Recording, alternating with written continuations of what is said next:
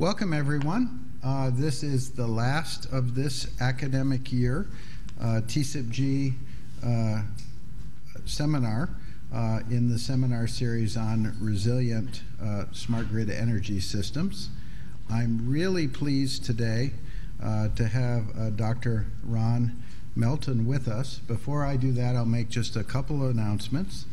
We will take a break, as is the academic tradition on these seminars. We'll still be working hard on our project, but uh, the next of the TCIPG webinars will be in September of next year. So watch your email for information on that. We're putting together a, a good lineup.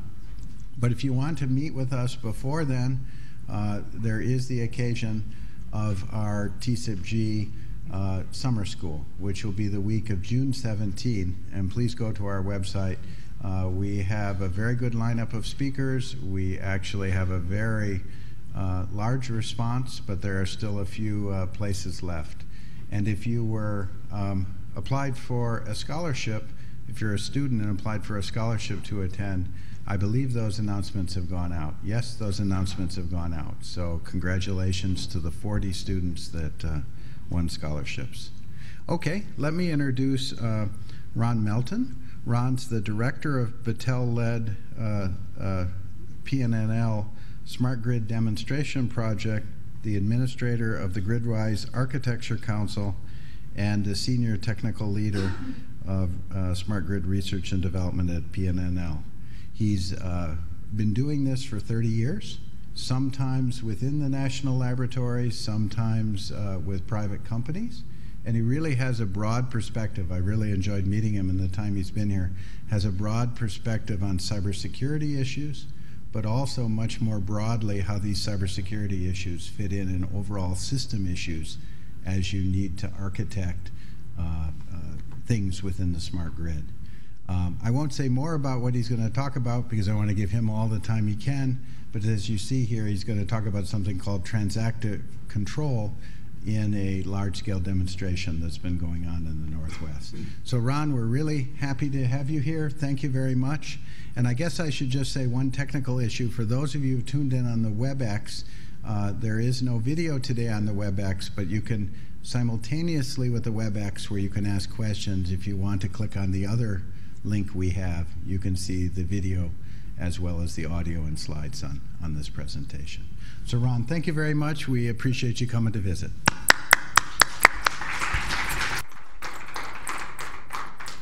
So thank you very much, Bill. So this might be a little bit of a, a uh, diversion from uh, topics you would have in TCIPG normally, because I'm not going to really say much of anything about cybersecurity, but talk about a different approach to managing, uh, managing the power system that, of course, would require certain cybersecurity considerations. And if people have questions about that, they can certainly bring them up.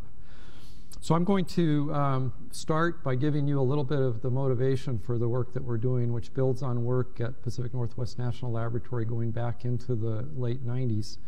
Uh, then I'll uh, give you an overview of the project itself then uh, concentrate uh, for a bit on the theory, if you will, behind this thing that I'm referring to as transactive control, talk about how we're actually implementing it in the project, and give you a, a current status of the efforts in, in, the project.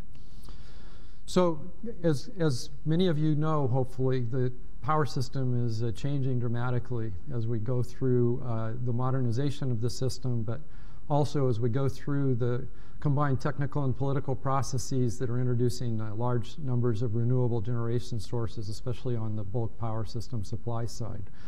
The um, introduction of those new sources you know, gives us new challenges, uh, integrating those renewables. We, of course, also have all of the same problems that the power system has faced uh, uh for years about how well we use the assets of the system, how well we keep the system reliable, of course, driving costs down as low as possible. And now we also have a new factor in new end uses, in particular electric vehicles, that, if not managed well, could drive up uh, new critical peaks uh, during peak times of the day. So we've made or are making investments in smart grid technology. So now we've got an opportunity to do something to help solve these problems with approaches that fully engage all of these different resources across the system to coordinate their activity, to coordinate their behaviors, to try to address these, these changes that we're facing. In particular, looking at the, the new uh, characteristics of the supply side, which used to be deterministic. It used to be, uh, of course, responding to the random nature of loads, but, but from a control point of view in a very deterministic way. Um, and now we have to deal with the stochastic nature of that. And as well, maybe we can do a better job with the stochastic nature on the load side. So this is the, this is the uh, objective, if you will, within this thing, transactive control. And we've actually added coordination to the label because in many cases what we're doing is more trying to coordinate the behavior and, and uh, activity of all of these different assets in the system as opposed to necessarily literally controlling them. Trying to do that from end to end, all the way from the generation side through to the load side, and at each of the points along the way where we may have the opportunity to affect the system. In particular, um, bringing into uh, play the opportunity for distribution system operators to have influence over loads or other resources to solve problems they may have in their distribution system. So it's not all just about things like locational marginal pricing to help manage the transmission system. There's, there's distribution system concerns that need to be addressed as well. So with that, let's look at a, a broad definition here. Um, why do we call these approaches transactive? We call them transactive because they have a market or economic sort of construct that they're embodying. And they're using those market or economic type constructs as a basis for doing this management of the different moving pieces of the system. In particular, we're looking at a convergence here of the control problems of the grid, so the engineering problems of the grid, with the economic activity and economic problems of the grid. And bringing these together, uh, which, as you'll notice here in the slide, tend to be talking about things on different time scales, which makes the problem interesting. And bringing those together in what you might think of as sort of transactive networks, if you will. There's one of the key features of the approaches that we're developing here and that is on the first line here, which, which uh, for those of you old enough to remember um, the, the startup of a lot of activity in the United States on global climate change research back in the early 90s, there was a popular slogan in the global climate change research of, you know, think globally, act locally. Well, so let's apply that same sort of a notion here in the electric power system. We want to be able to have information about the global state of the system and the global needs of the system and take local actions to help resolve or improve that global situation. So, of course, that implies we're talking here about distributed approaches as opposed to centralized approaches. And we have a construct that we use in this sort of an approach that we call a node. So, a node is basically a point where we can put decision making uh, processes decisions here that affect the flow of power in the system. And we have two particular signals that we define, which we'll talk about in more detail later in the talk. But one, a feedback signal that talks about how energy is being used in the system, in particular by loads, and a signal that we call an incentive signal that represents the economic aspect. So if we monetize the cost, cost of power produced, cost of power delivered, cost of constraints that affect those processes. Now we can talk about this incentive signal, which, which uh, I'll say more than once, represents the cost of power delivered to any given point in the system. So similar in concept to a locational marginal price, but different in principle because of the way it's derived. So the node, the node is that point or those points in the system where I can look at my local situation, I can look at my local constraints, I can make decisions that will affect the incentive signal that I send to all my neighbors that represent what I need at that point in the system to have happen. So we're going to go through a simple example of this in a few minutes to hopefully you know, make this a little bit more real. Two important points. A node, and one of the most important forms of nodes, of course, is going to be uh, edge nodes at your house, for example, or in your vehicle smart charger, or in a, uh, in a uh, commercial building. Node's responsiveness we think sort of philosophically needs to be voluntary. In other words, the node owner needs to be the one determining how responsive that node is going to be. We had an example of this in the work we did in, uh, in the 2006-2007 timeframe in the uh, GridWise Olympic Peninsula demonstration, where we worked with 115 houses and a smart thermostat uh, implemented for those houses to show that we could manage a constrained feeder through demand response in a double auction market with those, those houses responding to a five minute real time price signal. And a key feature of that was a slider associated with a smart thermostat that the homeowner could say, I, I want more comfort. In other words, I'm, I'm going to be inelastic if I'm going to have the most comfort. I'm not going to respond to the price signal. I'm going to go with my thermostat set point or I'm going to be more responsive, I'm going to be more elastic, I'm going to allow myself to, to respond in the, the maximum way possible to that price signal. So the, the owner of the node needs to be the one setting that as opposed to somebody imposing that on them. The other key point here, for this to really be widely used, nodes need to be automated, and especially again at edge nodes like residential nodes, you need to, to let homeowners determine a basic usage pattern and then it needs to be automated after that. So it can be responding uh, continuously in whatever time frame has been defined for that technique, in our case, a five-minute time frame. So why, you know, a little bit more broadly are we doing this? Well, we've got a list of challenges for the power system that we've put together to, to explain this. Um, and one of the, the, the first one is really one of the most important ones, I think, in that if we look at the future of the system, the power system itself with increasing number of sensors and intelligent devices, and then look at the edge of the system on the load side, where we have increasing numbers of intelligent devices that will begin to be devices that manage their consumption of electricity and manage their charging patterns, whether it's electric vehicles or other devices. And we potentially have situations where, were we to try to use a traditional approach to load management like direct load control, we would be having to try to optimize the control of millions or tens of millions of devices. If we want to do that in real time, or even more importantly, if we want to be predicting that so we can do analysis of where we're going and, and, and try to optimize things, there's no way we're going to do that centrally. It's just not going to work out well. So we've got to look at distributed approaches where we can do local optimizations with small numbers of devices that are tractable. And so this is one of the big motivations for us for a technique like this. Interoperability is a key, key requirement. These techniques have to be simple from an interoperability point of view so that you can enable multi-vendor solutions, enable wide-scale deployment and adoption of these sorts of things. Uh, similar argument applies to privacy and security. You need to keep things simple in terms of signals and, and interactions so that you avoid large-scale privacy and security issues. And likewise, the same arguments apply to scalability. By keeping the techniques as simple as possible and the signaling associated with them as simple as possible, you support the possibility of large scale up.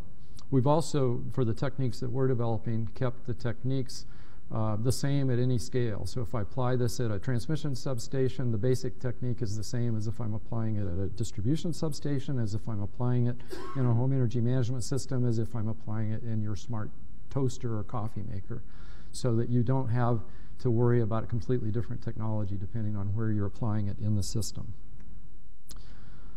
Part of the idea here is that you're selecting the most economic asset or resource in the system at any given point in time. So we're trying to create a level playing field through techniques like this, and that's part of where the economic constructs come into play, is to help enable that level playing field approach. I mentioned uh, customers or node owners being the ones that determine how much they play the game, and this is the customer autonomy sort of approach. Um, incentivize customers to do the right thing and then enable them to do the right thing at their choice and their option of the level at which they do that. Um, ultimately, we're trying to manage multiple objectives.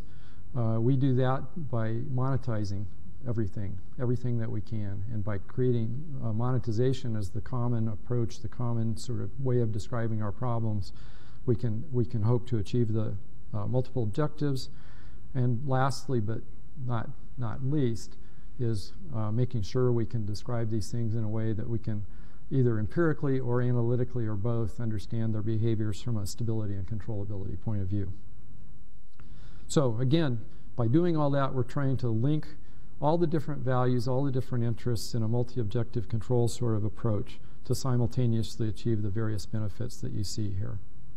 Um, I'm not going to go through and read those all off, but I'll leave it there for just a moment so that you can look at them if you'd like. So that's the background. That's, that's why we're doing these things. So what are we doing on the Northwest Demonstration Project? This is the largest of the 16 uh, stimulus package funded regional demonstration projects. Ours happens to be a $178 million project. Um, $89 million of that coming from the federal government in the ARRA funding. The other funds, and actually it's more than half because everybody's spending more than they had expected to spend, um, is, is coming as cost share from all of the participants. It's a five-year project. I'll show you the, the overall schedule for that in a minute. In terms of the number of consumers involved across the 11 utilities that are participating in the project, roughly 60,000 metered customers are impacted in five states. You can see Washington in green there, Oregon in blue, Idaho in maybe that's magenta, um, uh, Montana in orange, and Wyoming there in yellow. We have all different sizes of utilities. Uh, the utility labeled number eight there in northeastern Oregon is the city of Milton-Freewater. It's about uh, 4,500 customers, small municipal utility. Um, I'm bringing them up both because they're the smallest, but also they're one of the most innovative utilities that we've worked with. They've been doing demand response to manage BPA demand charges for over 28 years. And they're just modernizing that approach now, working with us on the transactive control technique. We've also got the University of Washington involved. Um, University of Washington, uh, through this project, put 200 meters into their campus. They only had metering at the edges of the campus before, uh, where they get their feeds from Seattle City Light. Now they've got 200 meters on all their buildings and some sub-metering in some of the buildings, so now they actually are getting some understanding of how they're using power. So we're doing all this for the reasons listed under why there. Of course, all of the demonstration projects are expected to develop da data that can be used to understand costs and benefits. We have this second bullet about a communications protocol with interoperable incentive signals. So this is the transactive control I've already started telling you about. As we develop that technology, provide input to the standards processes, and one of the key reasons in the Northwest why we're interested in this technology is to help us facilitate wind integration, which is, of course, a big problem for us in the Northwest. The project team is uh, like this. We've got the Department of Energy on the top, of course, since they're supplying a huge chunk of change here. We've got uh, Battelle leading the project. We're wearing our Battelle hat here as opposed to our Pacific Northwest National Laboratory hat. Bonneville Power Administration, who provides uh, a significant uh, amount of funding for the project that pays our costs at Battelle as a cost share for, for DOE dollars. We've set up a formal project review board that are senior managers from all of the participants that help us uh, keep the project on tact. And then you can see here our, we call them project level infrastructure participants, which are technology providers, including uh, 3TIER that does wind forecasting, Alstom Grid with their energy management system, market management system tools, IBM TJ Watson Research Center, Ron Ambrosio, many of you probably know Ron, and his team, a company called Netezza that has a data management appliance acquired by IBM after the project started. And last but not least, QualityLogic that does interoperability and conformance testing, which has been incredibly important for us to have test harnesses and interoperability and conformance testing capabilities as we implement these technologies. And then you can see the uh, 11 utilities here over on the side. I'm not going to try to read them all off. Um, I'll have a, a, a, reference at the end to our website where you can get details on all the utilities that are participating. But just to mention, it's IOUs, munis, rural electric co-ops, and public utility districts all involved. So the full mix of different utilities. Who, who is the second university? Uh, Washington State University is part of the Avista project. And, and there's even a third university involved, Central Washington University, is involved with City of Ellensburg, helping them with data, data analysis. So, so this is this is our starting point for describing sort of some of the more of the idea here.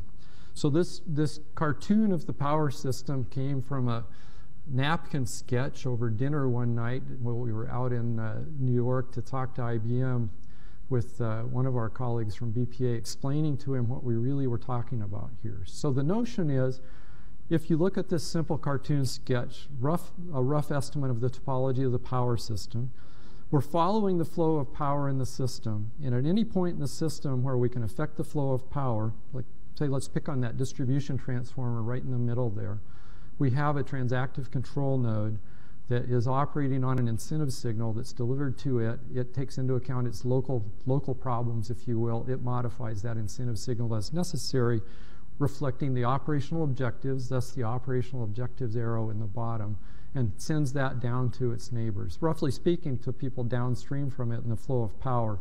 In fact, it actually has to send it to all neighbors because now we never know which way the power is going to flow. It could be going the other way at some point in time, so everybody has to know. And looking at it the other way in terms of our status and opportunities arrow, this is what are the what are the loads going to do? Or what are the other distributed energy resources going to do? Both of these are forward forecasts in time of what the plan is in our case for the coming three days as to how the cost of power is going to be and how loads are going to behave. And through the communication of these two signals through the system at these decision points called the transactive control nodes, all of the, all of the good stuff happens. So, um, just to, just to repeat here, it's a distributed method, transactive control for coordinating responsive grid assets wherever they happen to be in the system. We've got the incentive signal, which is this cost of power delivered or a synthetic price forecast, and we've got the feedback signal rep representing consumption patterns, and they're, they're going through each other or interacting with each other at the nodes. So what do these incentive signals look like in a little bit more detail? First, um, they're basically looking at the unit cost of the energy, unit cost of power delivered, and they're taking into account the variety of things that we see on the list here. Of course, fuel costs or equivalents to fuel costs are important. Infrastructure cost, which turns out we found is not quite as easy to include as one might think it should be. Um, capacity constraints, uh, there may be market factors that have to be reflected there. There could be uh, green power preferences reflected there. Profit would be reflected there. Anything that you can monetize that has to do with the cost of power. And we have created in our implementation approach a toolkit that has a basic shell of functionality for a transactive control node.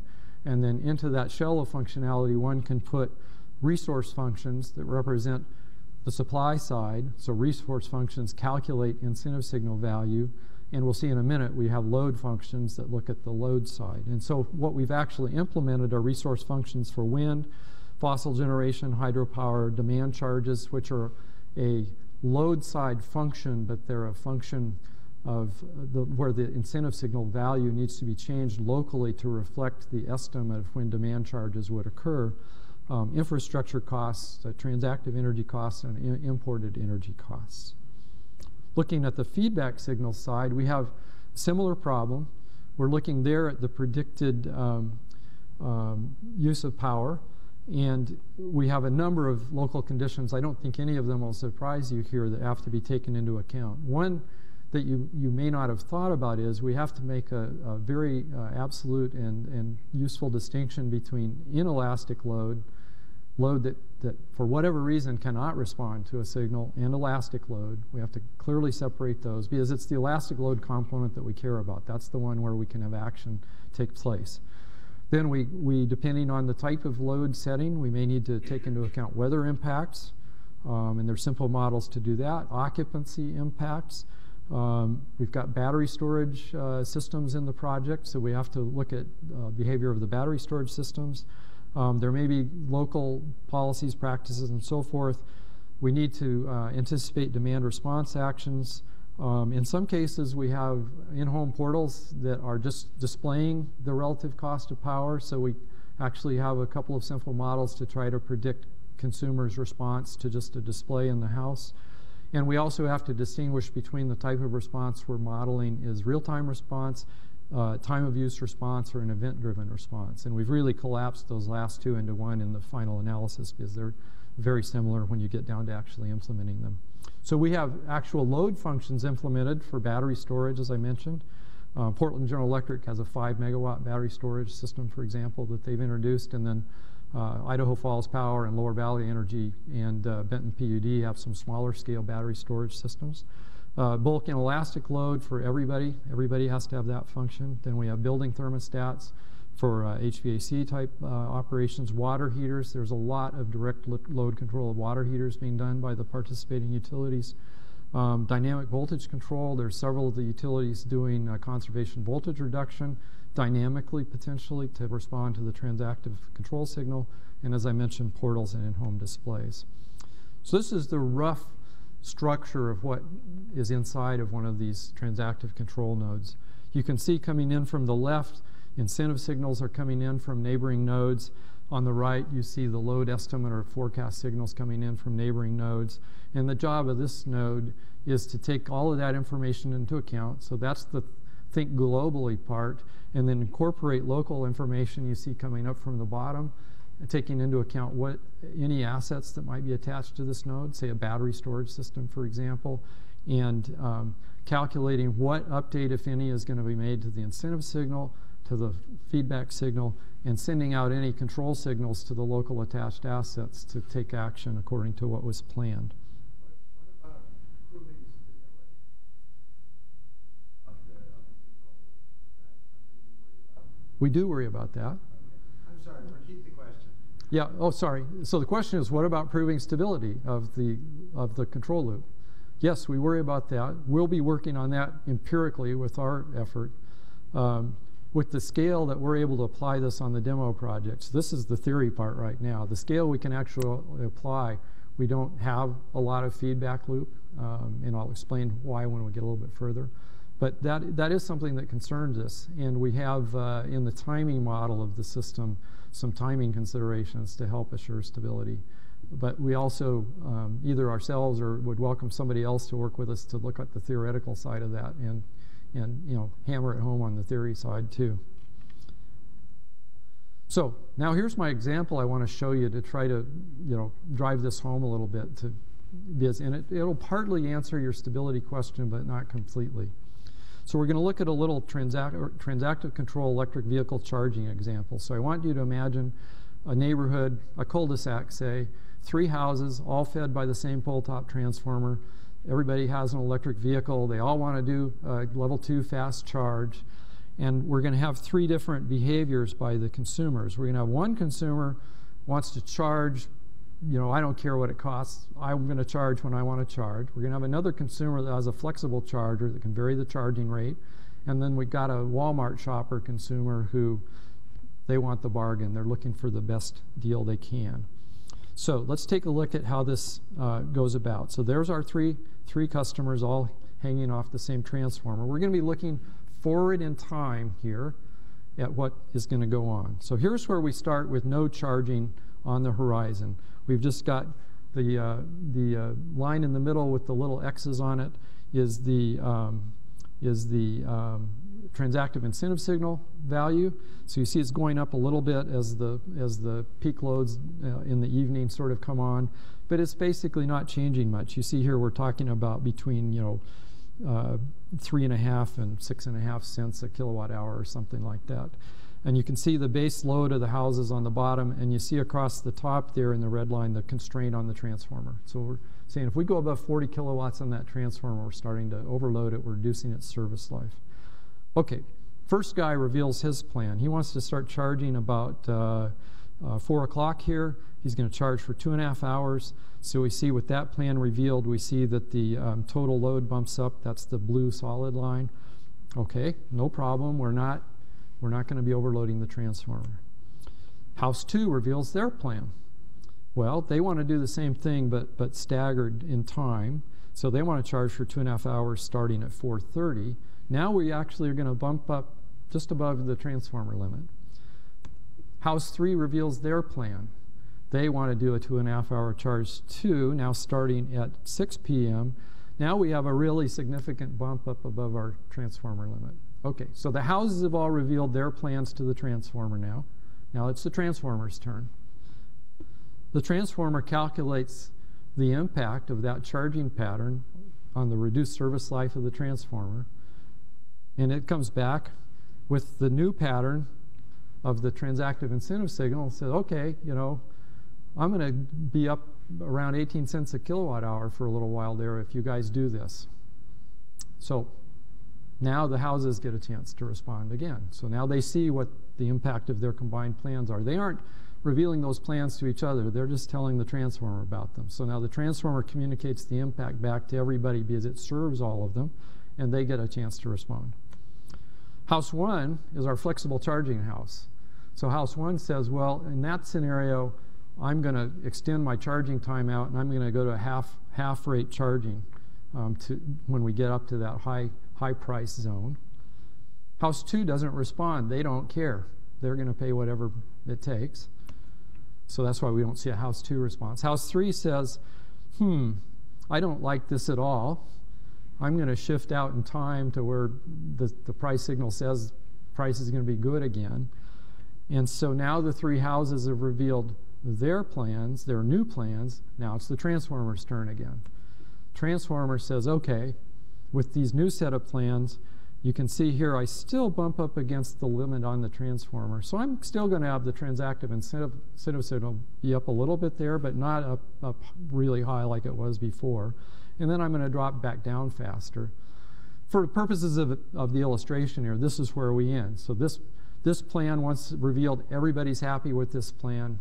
And this is now our our loosely phrased contract going forward that everybody will have agreed that this is the plan we're going to follow, you know, barring some other perturbation in the, in the loads or in the cost.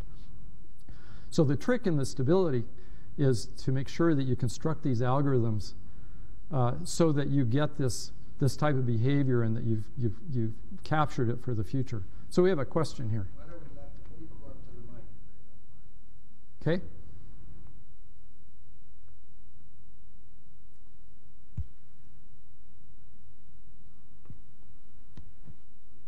It should be on, it takes a second, so. Uh, one thing I was curious about, you didn't have anybody in there that was playing the supply role, as in they were going to uh, look at that high price and say, well, I would sell at that time. Right, we could have. If one of the houses had a local battery storage system, then that would obviously be a Even their car, because that's one of the main things that, that they're uh, Oh. you know, punching out with these cars is you could make money on it if you want to let it play the grid. Yeah, the, the manufacturers, of course, haven't enabled that sort of use of the cars yet, but at some point they might, and you're right. Then the car, one of the, the, the Walmart shopper, for example, might say, well, I'm going to sell and then I'll charge later. Absolutely right. That could have been part Yeah, of the, an- ancillary the example. services, I think, is going to become fairly lucrative. Uh, it might. Okay, uh, so is the constraint on the transformer a soft constraint because you're still violating it a little bit? Well, it turns out, it turns out what I learned as I, as I started working on this example, I figured, you know, you, you exceed the limit on the transformer and it blows up and there are fireworks. It turns out transformers are much more resilient than that. There are actual algorithms out there, formulas for transformers, taking ambient temperature, the type of oil, and all this kind of stuff that you can calculate how much the service life is reduced for a given overload. And so that's basically how you monetize this, is by calculating that service life reduction. So, so Ronald, I, I, I guess you'll have to solve this problem first of, um, you know, the good, the good guys, and even the problem of people wanting to sell. But I was wondering if you're even thinking about, you know, somebody trying to say, here is my schedule, just to manipulate the prices. For example, I can say I'm going to charge at this time, let the prices go up, and then I'll say I'm actually going to sell at that time and actually don't charge it. So Yeah. that's one that's one issue. So is there consideration uh, for those kind of things at this time? Well, we, we recognize that as a problem, and we haven't tried to solve that problem. But if, if, you, if, you, if you had wide scale deployment of this, uh, and you have a question here to answer first Am I using this, this transactive incentive signal strictly as an engineering economic signal to uh, affect the behavior of devices, or am I using it as a literal economic signal where money's going to change hands?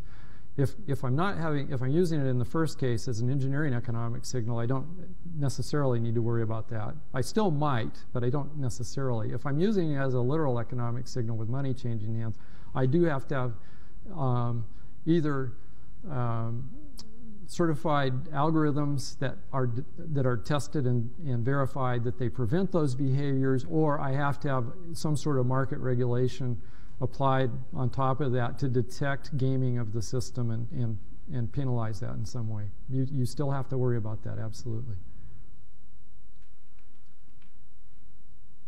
Hi. Um, so you said you're hitting the transformer limit uh, for that just one transformer, is it? Yeah. So then, could you not, if you hit that limit, could you not ask for power from other other utilities, or other neighborhoods, or whatever, and and and and? Uh, Well, in this example, you can't okay. because this is a distribution feeder and this is the last transformer in the line before the houses. So in, it, in the middle of the system someplace, absolutely, uh, that, that's one of the reasons why you send the signals to all neighbors because there may be a different path for power flow that will solve your problem. Uh, that, but you reveal it through the exchange of these incentive signals and feedback signals. Okay, so that's that was a good point to ask some questions because now I want to switch and talk a little bit about how we're actually implementing this. So, so what I showed you was sort of the theory and the hypothetical example just to try to drive home this notion of what we mean by transactive control. In the, in the Pacific Northwest, uh, we have a power system with you know a large multi-state balancing area for Bonneville, and we're going to primarily be talking about Bonneville's balancing area. And Bonneville uh, uses a notion of cut planes and flow gates in the way they operate their balancing authority. And we've taken that notion of cut planes and flow gates and used them to define uh, copper plate regions within the balancing area where we can deal with, with uh, the, the major power flows being between those regions. So these are the crosshatched regions that you see in this diagram. The cut planes are the red lines that separate them, and the flow gates are the blue double arrow lines that connect them. So these uh, large crosshatched areas are what we refer to as transmission zones. And our challenge in the project then, uh, because for some odd reason, I really know the reason, but I'm going to pretend like I don't. For some odd reason, Bonneville wasn't ready to let us just stick this stuff into the bulk power system and start having it, you know, affect operation at transmission substations and at the hydro desk and, you know, transmission operations and so forth. So we actually simulate the bulk power side. So the Alstom market management system and energy management system models are being used with data fed from Bonneville, and you see the types of data here, load forecast, generation schedules, outages, things like that. Um, data, some of which coming from independent power producers in the region, and the data that 3TIER generates for us on renewable forecasts. That all goes into the Alstom models, and they're calculating the cost, all the power flows between those transmission zones and the cost of power generated and delivered from one of those zones to the utilities that live beneath those zones. So each of the 11 utilities lives in one of those zones. There's 14 of them, so we have some zones that don't have a participant.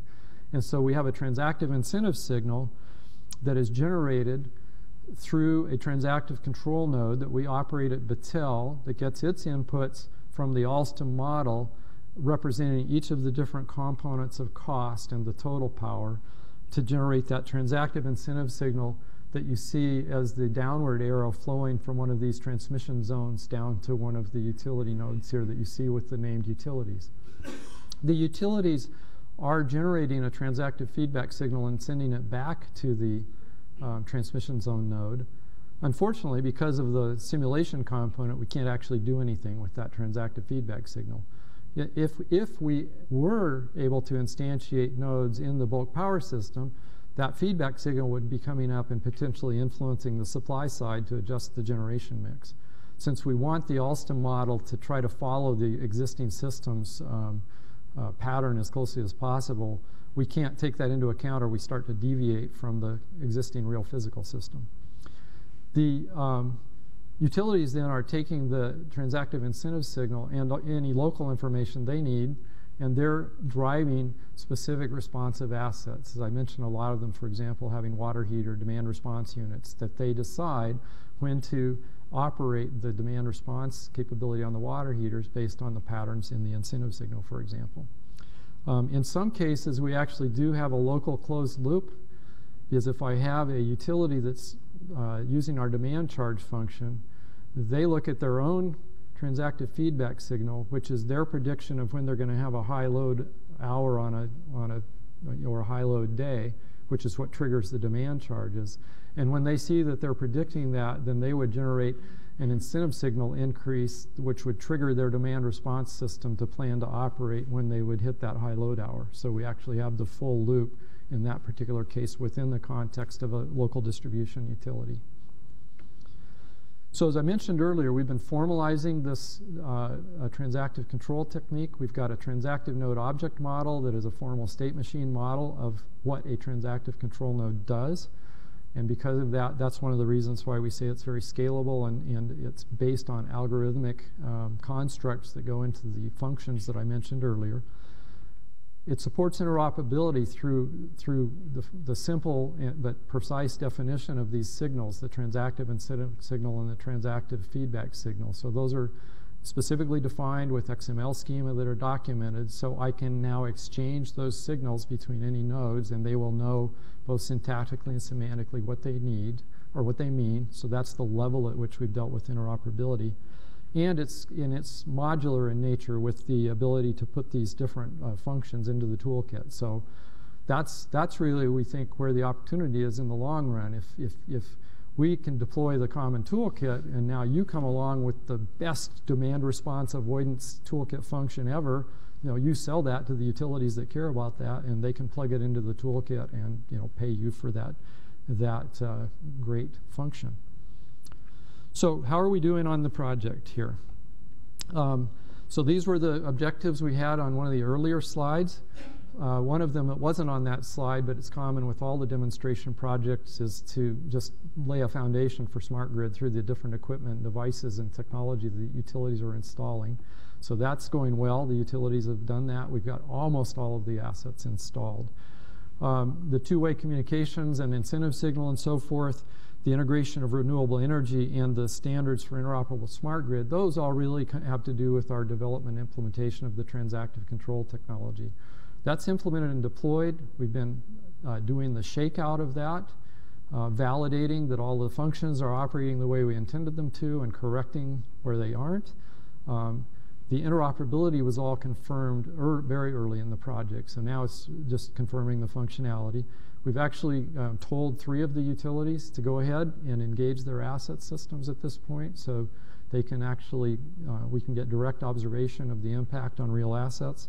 And, and all along the way and going forward, we're collecting the data, you know, baseline data and uh, installation cost data and then impact data from the utilities for the costs and benefits. We've defined uh, to do that um, just uh, around 90 test cases, 90 experiments, if you will, that are going on simultaneously here. You can see the, the uh, 11 utilities here listed. If you couldn't read the earlier thing with their names, you should be able to read it here. And they have uh, roughly 40 test cases having to do with transactive control. We have a small number of test cases for reliability that have nothing to do with transactive control. It's just taking advantage of some of the smart grid equipment they've installed.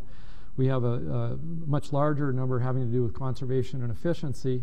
Again, not being driven by transactive control, but just taking advantage of the smart grid uh, technology they've installed. In some cases, we have a simultaneous or a pairing of a conservation and efficiency experiment with a transactive control experiment. Largely where we're doing conservation voltage reduction and we can look at it statically or we can enable the conservation voltage reduction to be variable responding to the incentive signal so that they're adjusting their total load down that feeder um, in response to the signal through that variability. Um, the project started in February of 2010. Um, we had a small startup phase where we did some conceptual design, did environmental documentation, things like that. Then we moved into the fall of uh, well, into 2011 and 2012, basically in a detailed design and implementation period. Uh, did a three-phase release cycle approach where first we established basic connectivity, second we established information interoperability, and thirdly we, we put the functionality into the system. Um, last October 15th, we started phase three, which is our test and evaluation period, data collection and analysis period. That will end in uh, February of 2015, um, and then we'll have uh, a couple of months to get things wrapped up. So actually, the whole project ends in February 2015. So we'll back that up about three months for when the phase four starts. Um, and you can see here the different um, sort of distinction between the phases here. So we're just well into that 2013 phase now. So, what are the benefits of this project? Well, it's an opportunity to leverage the smart grid assets the region installs. It extends, as I mentioned, the Olympic Peninsula GridWise demonstration that we did. It basically built on that technique, uh, made it a much more um, elaborate technique, in, introduced the notion of forward forecasting as a key new feature, and, and did a uh, intense focus on standardization of the technique and interoperability. Do we have a question?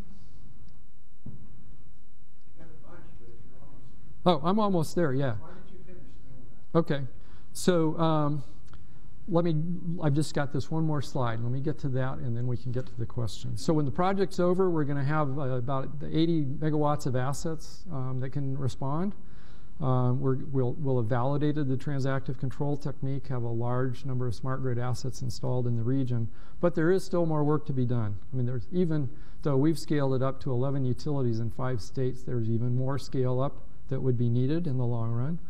We have to transition it from an R&D effort to an operations effort. We're, we're having a lot of very interesting discussions with Bonneville about how to do that and what the real specific key needs are that they could use help with which is basically gets to that third bullet there of operationalizing it for balancing authorities, since fundamentally it's a question of how do you integrate wind, and in particular, Bonneville's identified the errors in wind ramp prediction to be one of the key problems that they're facing, and how do we engage more and more utilities in using this.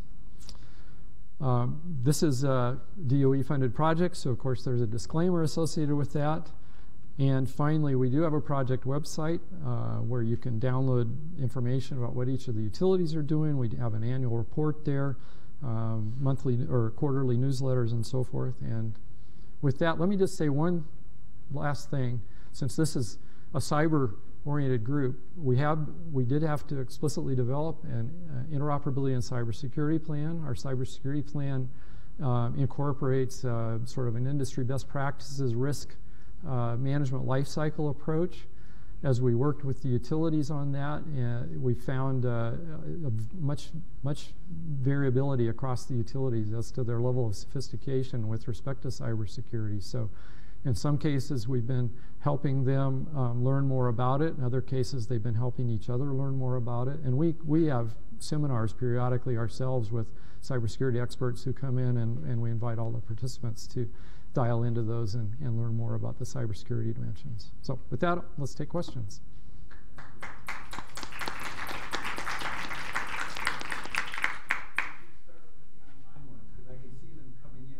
I, I, kept seeing something flash up there. That must have been the questions. Okay. Um, so going back a bit, uh, Klara Nahrstedt asks, uh, about the transactive nodes inputs and outputs. If the neighboring nodes exchange information, is there an issue of security or privacy? Um, privacy, no, simply because of the way we've defined these signals. You don't, uh, at least the way we're using it right now, and we think this would be robust in the larger scale as well.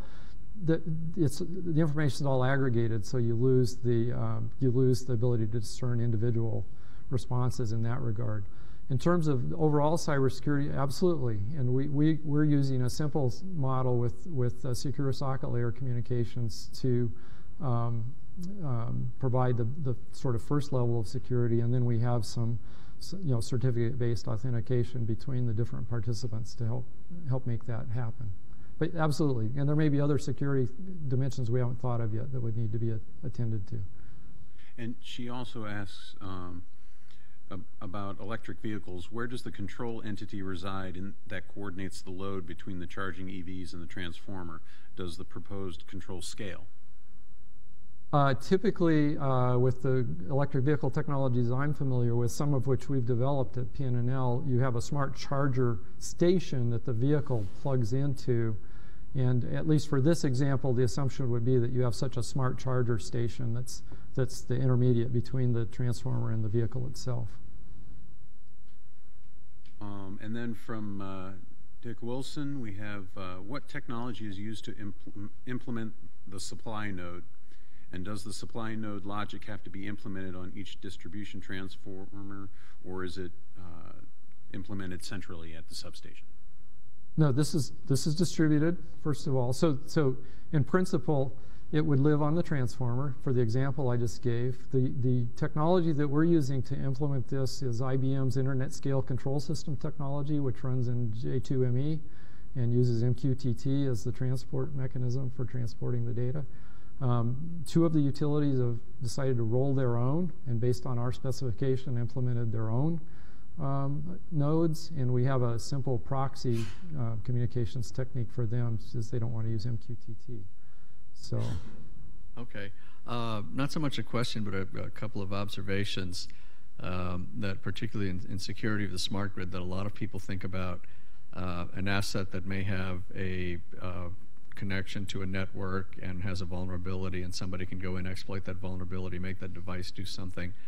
But uh, as we move to smart grid and, and you're using uh, your your uh, transaction incentive signals and transaction feedback signals, is it?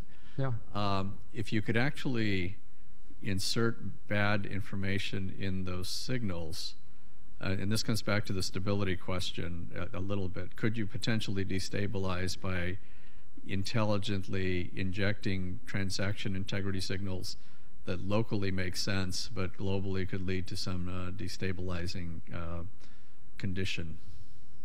Well, probably.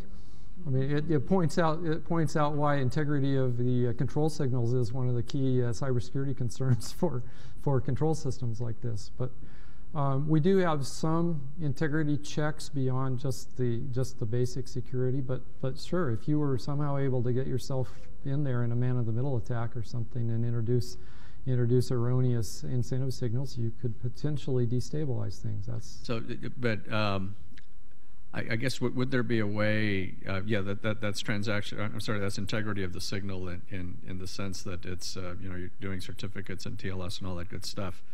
But is there some kind of a, a check that these signals are consistent given the state, the physical state of the grid, and and the various uh, uh plans from from the end nodes and so forth? Well, it, we haven't tried to implement that right now, but there may be ways we could do that. Now, it's, it's, it's a challenge since we're representing the global state of the system in the incentive signal itself, not you know, having some wide area broadcast here. The signal's unique to the path that it's followed.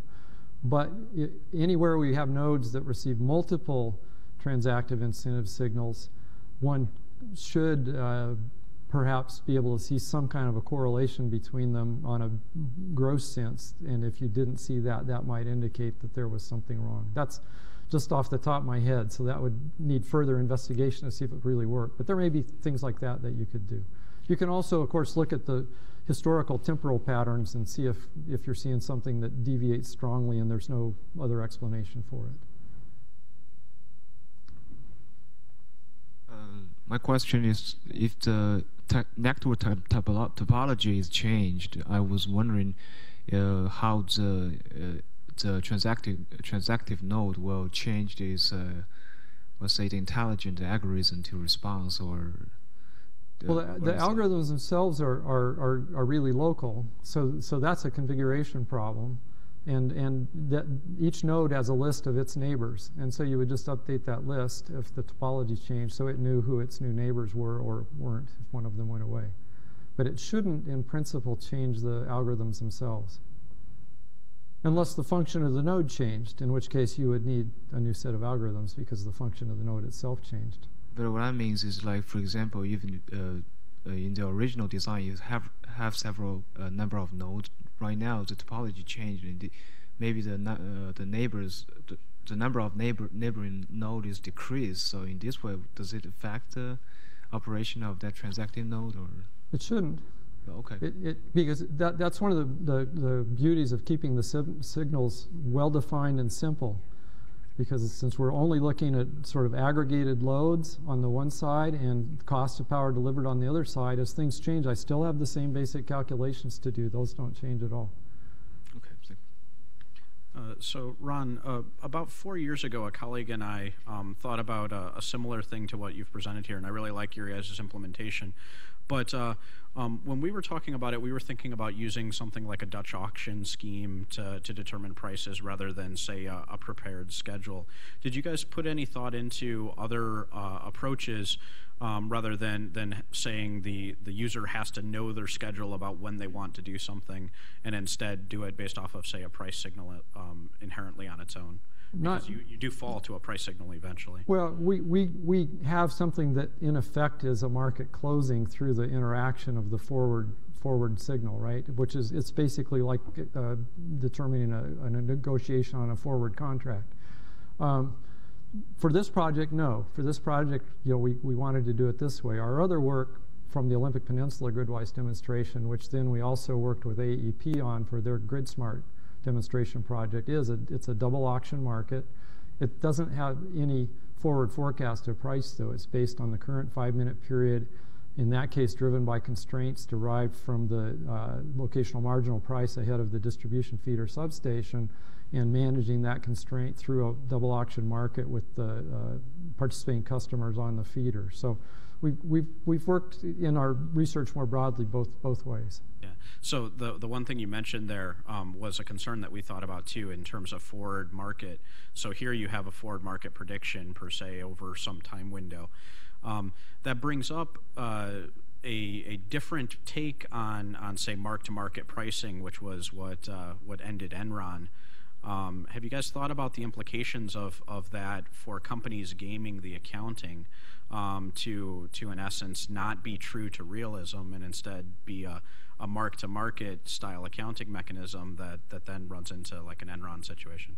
No, we haven't tried to tackle that part of the problem yet, but, but yes, Okay, that, we've got, got more questions. We'll try to be real quick. Just a couple minutes. Um, yep, okay. Gustav Brunello wonders if the project investigated the impact of local storage at, distribu- at the distribution level.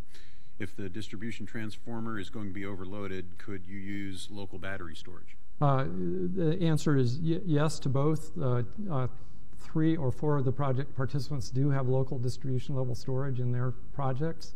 Um, We aren't actually going all the way down to distribution transformers to houses, uh, of- uh, shown as my hypothetical example, but absolutely, you could include that as a part of that overall mix there.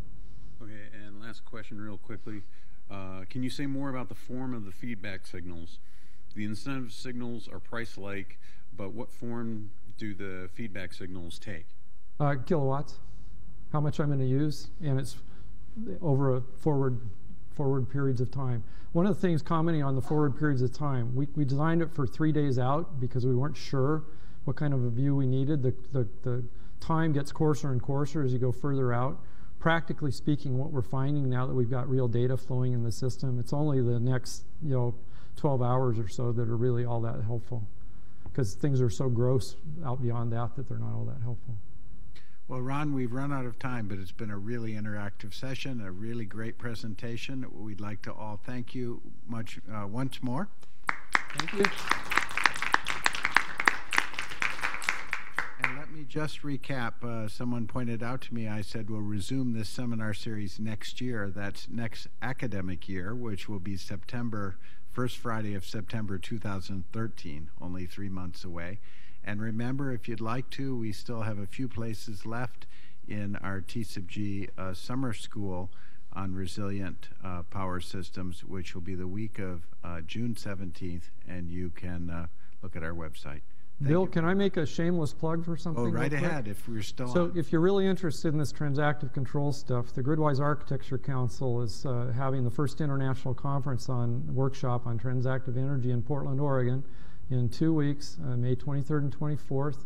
Go to gridwise, gridwiseac.org slash events. You can find out more information about that. Thanks, Ron.